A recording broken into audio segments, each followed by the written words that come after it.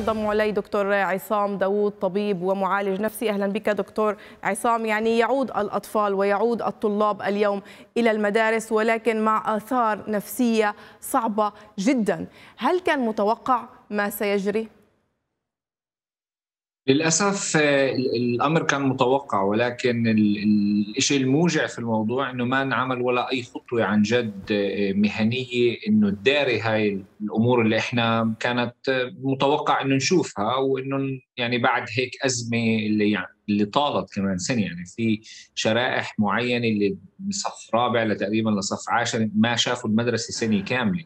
في البيوت مع كل الضغط مع شمع يسمعوا المشاكل اللي الأهل عم بيقلطوها المشاكل المادية الخوف إنه هن ممكن يعدوا سيدهن أو ستهن لما إحنا كل منظومة العائلة مبنية إنه إحنا عايشين مع بعض. كلها كمان شافوا كثير حالات موت وفقدان اللي صارت عندنا في الوسط العربي.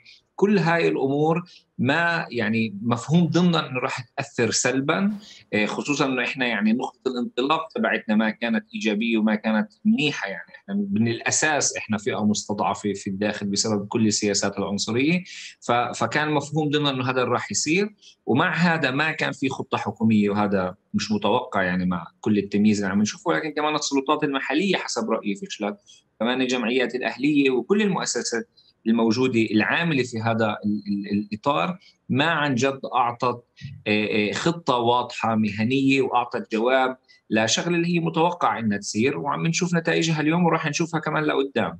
يعني نحن نتحدث عن نتائج مثلا 25% زيادة في إمكانية الانتحار. ثلث الطلاب اشتكوا على أزمة نفسية. طيب الآن هل الجهاز التعليمي التربوي الصحي مهيأ للتعامل مع هذه الحالات خاصة في المجتمع العربي؟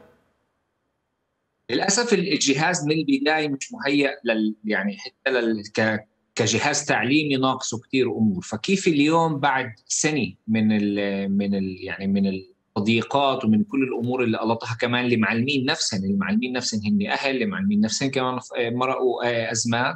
وكمان التعليمات مش واضحة يعني وزارة التعليم بتغير تعليماتها كل يوم تقريبا. مرة بقول لك في كبسولة وفي فئات صغيرة رح يعني اللي يتم التعليم فيها بعدين بيفتحوا بعدين بيسكروا. كل هاي الأمور اللي إحنا غلطناها هاي كلها ادت في الأخير إنه إنه الجهاز ما يكون حاضر.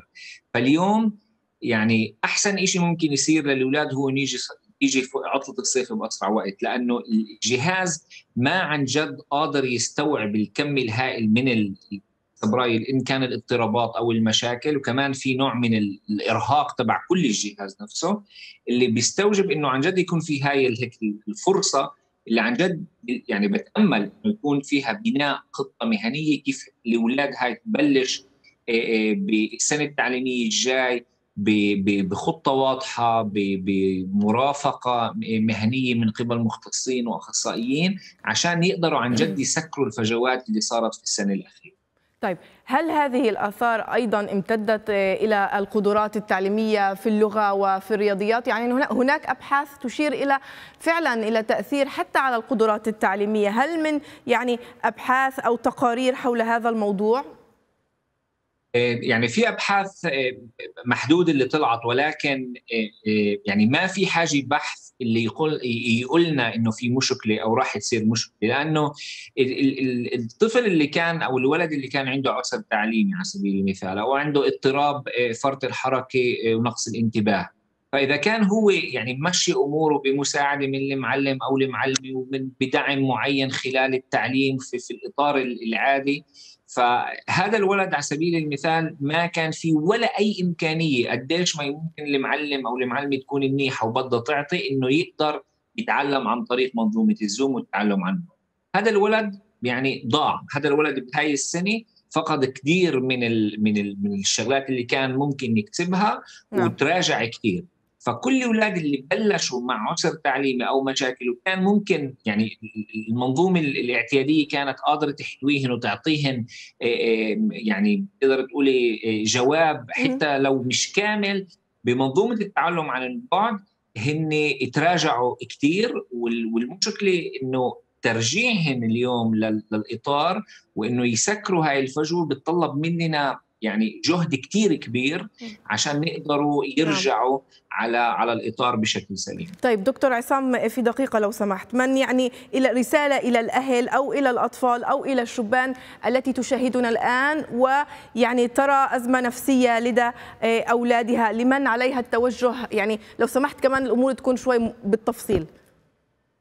اليوم إحنا يعني لازم نعرف إنه الضرر تبع جائحة الكورونا بالأخير هو أكثر ضرر نفسي من ما هو جسدي أو حتى مادي، يعني الأمور اللي راح تبقى معنا هي في الأخير هي الأمور النفسية والإسقاطات النفسية اللي صارت علينا.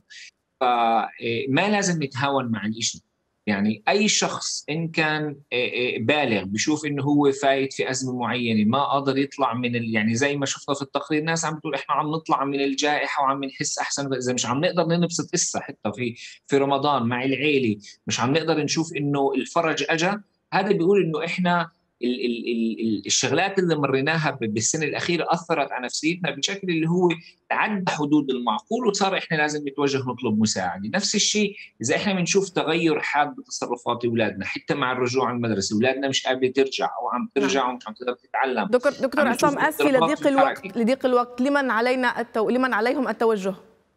في البداية دائما طبيب العائلة هو العنوان الصحيح لأي خطوة معينة وإذا شفنا أنه الإشي بتعدى يعني فيها الأدي علامات واضحة ممكن توجه كمان للعيادات الصحة النفسية الموجودة بصناديق المرضى اللي هي الإنسان يتوجه لها بالأخص القاصرين عن طريق الأهل بدون ما يكون في توجيه رسمي من طبيب العائلي إيه، فقط بتعبئه استمارات معينة وكمان بالتوجه لأي طبيب أو أخصائي أو أخصائية نفسية موجودين كمان في في يعني متوفرين في إيه، في السوق اللي بيقدروا يتوجهوا لهم بشكل خاص. نعم. شكرا لك دكتور عصام داوود طبيب ومعالج نفسي على هذه المعلومات على أمل أن يستفيدوا منها الأطفال والأهالي شكرا لك